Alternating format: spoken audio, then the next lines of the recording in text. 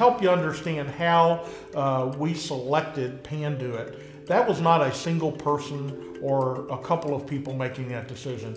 We actually had a very large group. We had uh, three folks that began the process, myself, uh, our CTO, and our Director of Infrastructure. The three of us started looking at where we wanted to be innovative in our data center. Our goal was to build the data center of the future. And so those three, the three of us, began that, that, that course and we started bringing in uh, many of our groups, our infrastructure groups, uh, our networking groups, our security groups, a lot of the folks that are involved in the data center. And we brought those together and we took them to Chicago with us to a, a, briefing and we wanted them to see the product lines, to talk through. So this was really a group effort that we looked at uh, the products, how they fit into our data center, where we're wanting to go. We built this data center to take us out another 30 to 50 years. And so we wanted it to be the data center of the future and we involved a whole mass. There was probably more than 40 or 50 folks involved in the decision of the components that we selected for this data center.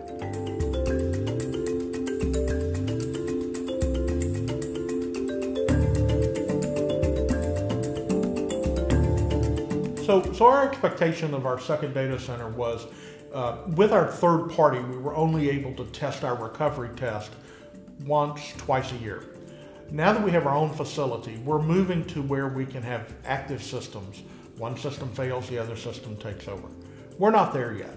But what we have been able to do is bring that in-house so that now we can build those systems and we can test them whenever we would like. It, it, allows us the flexibility to begin to move in a direction for resiliency that we have not yet been able to achieve. And so that's our future of this data center is to do those type things where we put our systems in and if one system fails at our primary data center, the secondary data center picks up the load. And in some cases shares the load between both data centers. So that's where the benefit to the company is.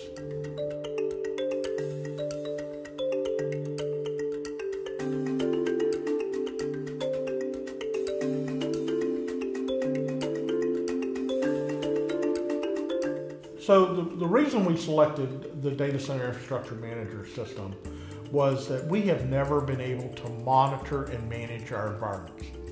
In the past, in a traditional data center, you build a data center with two power sources. And you really don't have to balance the, the power loads. In our new data center, we built a tri-bus system, which means that you have to balance each of the loads coming across in your data center. So immediately we needed a tool that could do that for us. Additionally, we've never really been able to monitor our temperatures within the cabinets. Yes, you can monitor them at the server level in the servers themselves, but we wanted more information. As any company, we're, we're now becoming more analytical that we want a lot of data to be able to analyze.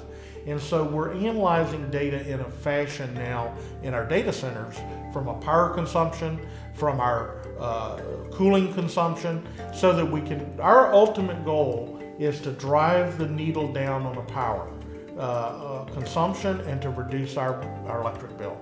We're an electric company, but we have to pay an electric bill. And so our goal is to drive that needle down so that we can reduce power costs. And how we do that is begin to understand what our systems are doing.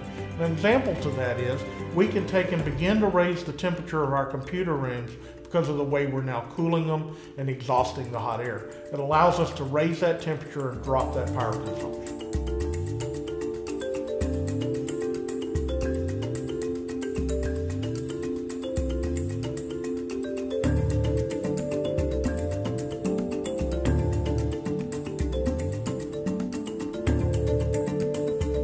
The impact to CenterPoint Energy by selecting DCIM was that it is now providing us the information that we've never seen before.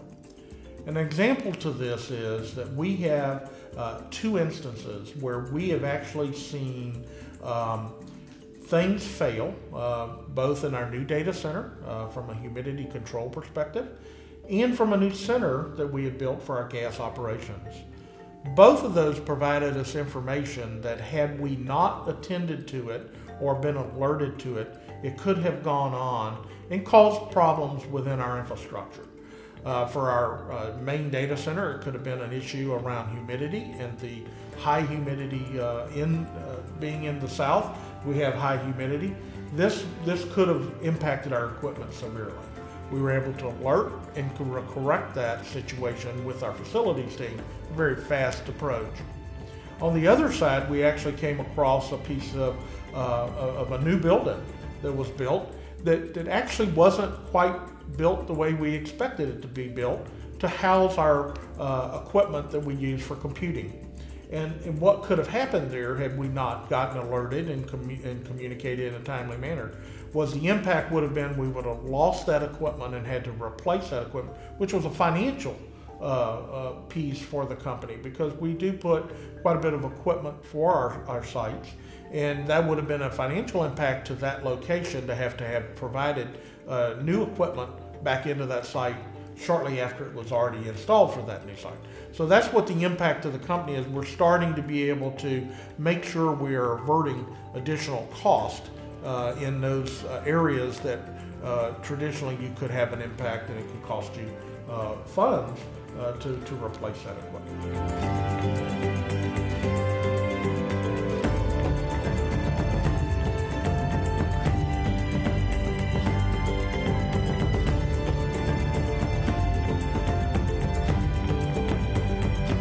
So, evaluation of DCIM. Evaluation for that product was very tough for us. We had many major vendors that already worked with CenterPoint Energy that had a similar product. What we wanted to do was take a new approach. We wanted that to be a total integrated product.